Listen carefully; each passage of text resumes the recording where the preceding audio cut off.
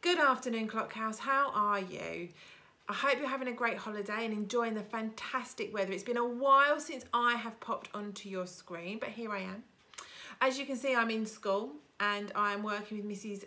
Reinecker and Mrs. Overton and Mrs. Jarvis and Miss Ward to plan for the reopening of school in September. There's a lot to plan and there's a lot to think about. We're getting there and there will be much more communication coming your way, but just thought we'll give you a bit of a heads up on some of the things that we've decided. So from September, the children will be in their classrooms, in their normal classrooms, in their 30 bubble, and the year, there will be a year group bubble so that staff can move when needed between year groups, between sorry, between classes. We will keep be keeping that to a minimum. In terms of lunch times, the children will be in their classes eating and we'll be doing staggered lunch times. So they'll have half an hour to eat and then half an hour to play and that'll be on a, a rota system. If your child has lunch from the canteen, that's fine, but it will be a cold lunch offer that we brought to classes. There can't be any hot lunches at the moment as per the guidance that we've been given.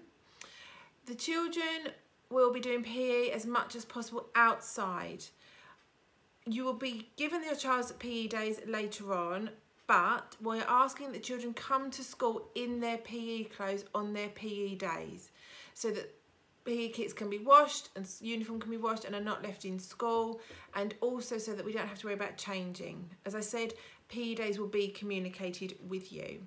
The children will be able to bring their lunchbox, water bottle, moisturiser as previously and a small book bag so that they can bring a reading book home. Now reading books will be coming home on Thursdays and being need to be back on Mondays. They will then be kept in school and reissued on a Thursday. If you're worried about reading between Monday and Thursday, we'll be providing lots of useful links and online reading books that the children can use, especially Reading Eggs and Reading Eggspress. They won't have a reading record book. The communication with that will be via Dojo. So if you send a message to say your child's read, they will get their raffle ticket that way. Children love the raffle tickets, so make sure you read. Um, in terms of homework, unless you tell us otherwise that you can't access Google Classroom or online learning, all homework will be done via Google Classroom. Lots of parents have spoken positively about that, so we're acting on that.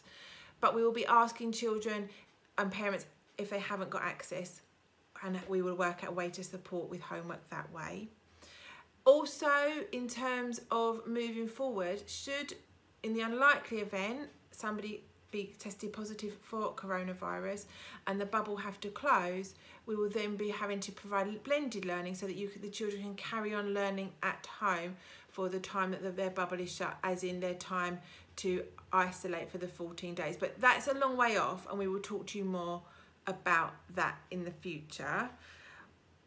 We are, as I say, busy planning um, we have a lot of things still to think about. We're looking currently, as I speak, at staggered start times and staggered end times. There will be staggered times and there will be gates, certain gates for children to come into. What I can tell you, though I can't tell you the exact times, the earliest time will be 8.30 for the children coming to school and the latest pickup will be 3.30.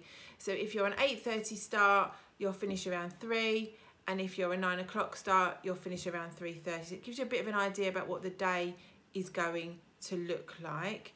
Um, and gates will be specific. Year four year five year six parents we are going to be asking that your, the children come onto site on their own. I know that's hard especially as they start new classes but to minimize the risk we are only going to be allowing parents from nursery reception year one, year two, year three onto site. And I have to say, prior to the holidays, the children who came back really took to that really well and the parents were great. So hopefully that won't be an issue.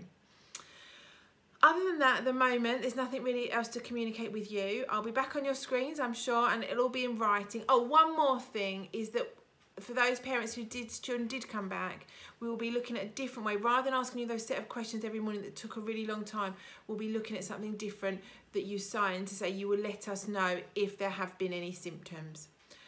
As I say there's still lots more to plan but hopefully that gives you a bit of an idea about where we're coming from I just can't wait to see you all. I know the staff can't wait to see you all in September and get back to some normality. And we will be get, making it as normal as possible because our children need normality. We need normality within the realms of what's possible.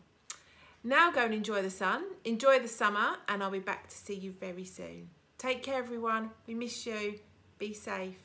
See you soon.